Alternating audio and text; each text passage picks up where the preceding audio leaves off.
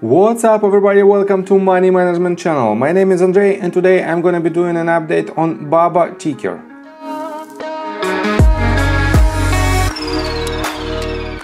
And on today's video, first of all, I will show you where we are on the price chart and how we get there. Then I will continue with the fundamental news that might drive the price uh, of this company. And at the end of this video, I will share my thoughts and my technical analysis. And I will show you what should we expect next. So let's start with the price chart. I made my previous video right here, somewhere at this point, uh, and I've told you that uh, we still have uh, this weird uh, sideways movement, because uh, from the technically from the beginning of December till the beginning of uh, January we have this declining mode, and we don't we didn't break the previous bottom, and we didn't break the previous swing high. And this means uh, we are pretty much uh, in the middle of nowhere, but we have very good sign. And this sign is right here. As you can see, we have uh, this massive movement to the upside and uh, it has a huge volume. On top of that, we have uh, quite similar volume right here with this movement and uh, we have uh, these two bottoms, this one and this one. They are extremely close one to another. This means technically we might consider it uh, even as a double bottom pattern and from this double bottom with the huge volume on both sides we have this movement to the upside and uh, it is very very good technical sign but I will continue with my technical analysis in just several minutes and for now let's continue with the fundamentals of this company First of all, I will show you right here that uh, for now its total market cap is 303.87 billion dollars. And I have to say that it is extremely cheap for this type of company that has not only the e-commerce uh, segment but also cloud computing. And you have to realize that uh, the cloud computing alone might uh, worth uh, the entire 300 billion dollars because it is extremely rapidly growing segment and Alibaba is one of the leaders uh, on the Chinese uh, market uh, in this segment. So it is what it is and we have to realize that Alibaba is not only the e-commerce company. So, what was the reason of recent uh, sell-off uh, right here, uh, this uh, decrease in price, and what was uh, the reason of uh, this massive surge in price? First of all, let me show you this. Um, on December 29th, we have this article that is titled Alibaba, Didi Global lead broad declines in Chinese tech stocks. And let me quote you this. Chinese tech stocks were mostly in red Wednesday, led by reaction to a new report involving Alibaba and Didi Global's Hong Kong stock listing plans. Alibaba shares fell almost 3% after a report that uh, it is looking at selling its 30% stake in Weibo, the move reportedly being considered in order to reduce Alibaba's massive role in the Chinese tech sector. For its part, Weibo saw its shares dip by 2% in early trading.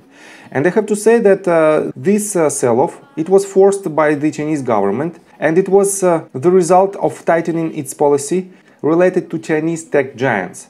So, and what was the reason of uh, this uh, movement to the upside?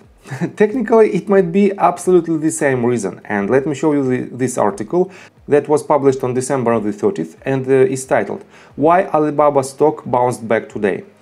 And right here you can see that Alibaba's bounce back appears tied to a Bloomberg report yesterday that the company is uh, weighing options to dispose of uh, its 30% stake in Weibo.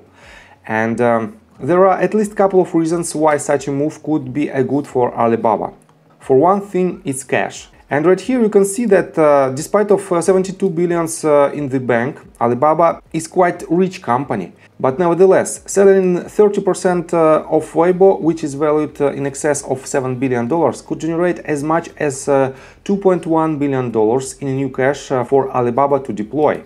And um, I have to say that uh, even 2.1 billion dollars for the company that has uh, 72 billion dollars on uh, their balance sheet is quite significant number. And um, let me show you this. Uh, perhaps uh, even more important is where Alibaba might redeploy that cash and specifically whether it might uh, put it place other than social media. And let me quote you this paragraph.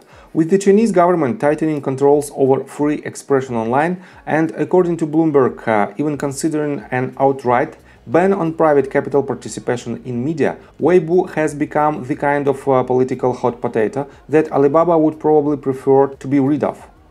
If the company can now exit uh, the sector gra gracefully, and uh, collect uh, 2.1 billion dollars on its way out that just might be the best possible outcome for, for Alibaba shareholders. And I have to say that I agree with this statement because we are witnessing the tightening of uh, the Chinese uh, policy related to the tech giants from the Chinese Communist Party. And uh, this policy gives more uncertainty to the markets and uh, this leads uh, to lower prices for this type of uh, companies. But for now, we clearly see that Alibaba is following these rules and this means I don't think that uh, in upcoming year we will see much stricter rules from the Chinese Communist Party. Everything is possible, but I, do, but I don't think uh, that it is probable. That's why, in my opinion, the upcoming year might be very profitable for the company because uh, in my opinion we still have uh, some uh, downsides related to uh, this type of policy from the Chinese Communist Party but on the other hand the business of Alibaba by itself is very, very strong for now. So, and let's continue with the technical analysis, but before we dive deep right here, please subscribe to my channel, hit notification bell and hit the like button. This helps me a lot. So guys, as already mentioned, we have uh, pretty much double bottom and it is extremely bullish pattern. And with this movement to the upside, we clearly have uh, this uh, beautiful volume and uh, this volume shows us that uh, we might have uh, a trend continuation. And this means for now we have a very good setup even for swing traders, not only for investors in this company who want to invest for the long period of time. And let me show you this setup. If you want to enter the position, uh, technically you can add your position right here and you can do it by laddering your buys down when the price uh, goes south. And uh, your stop loss should be slightly below this range, slightly below $110 price point. And uh, next uh, potential targets, let me switch to 4 hours time frame at least. Next potential target might be this uh, previous stop and uh, it might be up to 9% uh, of potential profits but it is not the best setup because we have almost the same number of downside potential and uh, on a greater scale, let me show you that uh, we might have uh, next potential price target right here at the top of our previous swing high. And from our current price, we might have uh, about 54% uh, of upside potential, with the 7% of downside potential gives an amazing risk to reward ratio. This means uh, it is a quite good uh, technical setup for swing traders. And uh, if you want to enter the position uh, as an investor, just uh, buy on every daily red candle and this will give you a huge opportunity for the upcoming couple of years with this company. So I think from the technical standpoint that's it for now. If you like my video please hit the like button and subscribe to my channel with notification bell and see you guys and girls next time. Bye!